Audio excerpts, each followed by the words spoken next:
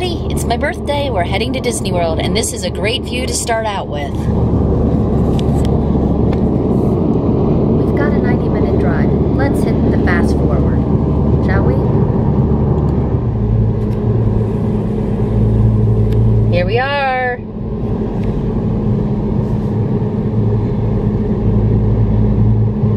Prepare to bear left.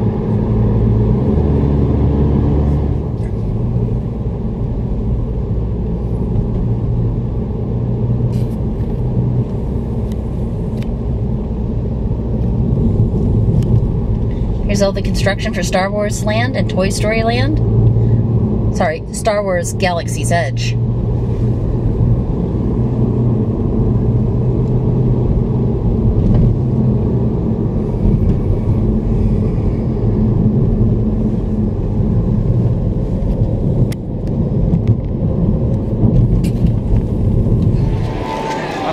We made it! Disney's Hollywood Studios for my birthday. Already have the birthday pin, and we're ready to go up Main Street.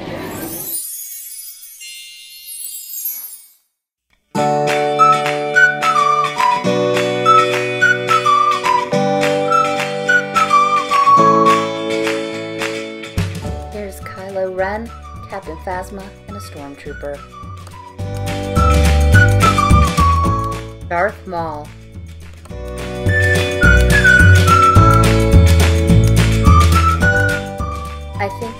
Member that plays Rey looks a lot like Daisy Ridley, don't you?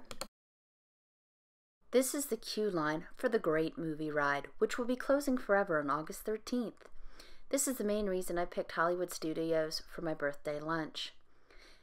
We had fast passes, and with the low crowds that were there today, we were able to go straight into the ride. We had no waiting, which kind of made it hard to take pictures of all the things in the lobby. I'll post a link down below to the full ride. The ride itself is about 20 minutes, so putting it here would make it a little long. As you can see in this picture, you can see how light the crowds were. For a hot summer day in July, it wasn't bad. The clouds were there, it kept the temperatures down. It didn't rain until after we left today, so we couldn't have really asked for a better day between the crowds and the weather. We really had a great time. To with the construction you can see, when you turn the corner by Star Tours. Cranes moving over Star Wars Land.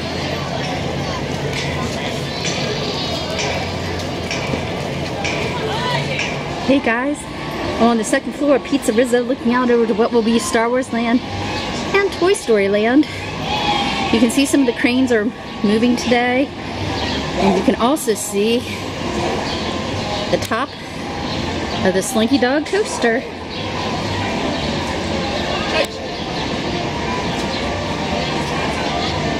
Next year at this time, we'll be in Toy Story Land.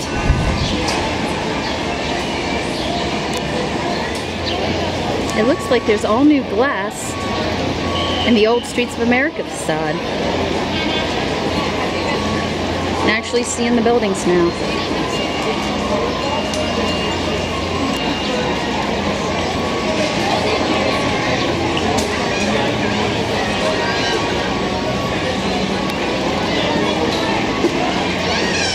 Slightly different view of the construction.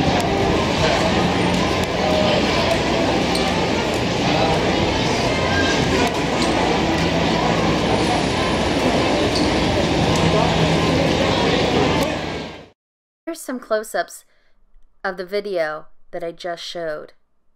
Here you can see the Slinky Dog roller coaster, the windows on the other side of Streets of America, and, and it's obvious it's a work zone with all these tools in the window.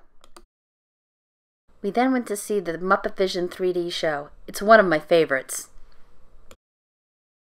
When you go in, at the ticket window it says the key is under the mat.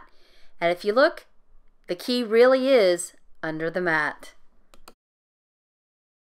When the cast member saw me find the key, he was all excited and he yelled, Yay, we all get five minute breaks. Someone found the key. He then saw my button saying happy birthday and presented me with a card from the cast. I really enjoy all the theming in this ride.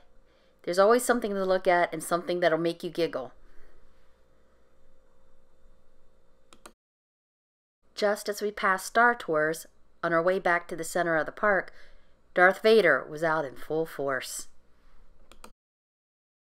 We ate at the Hollywood Brown Derby, and one of the citizens of Hollywood came to wish me happy birthday. Cheers!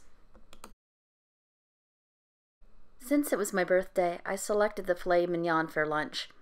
It was one of the very best fillets I've ever had in my life, and I've eaten in places such as Brennan's and the Commander's Palace in New Orleans, and this was definitely better. It wouldn't be a birthday without a dessert. We had fresh French press coffee and their dessert trio. We picked two different flavors the signature grapefruit cake and an espresso flavored creme brulee. It really was a magical birthday. The best kind of birthdays are the ones you have at Disney. If you haven't traveled off property, you may not have seen the biggest hidden Mickey of all. Can you see it? It's the electrical towers just outside of Disney property along I 4. I picked up one thing that I've wanted for a long time from Disney the limited edition Beauty and the Beast drink cup. It lights up and it's really quite magical.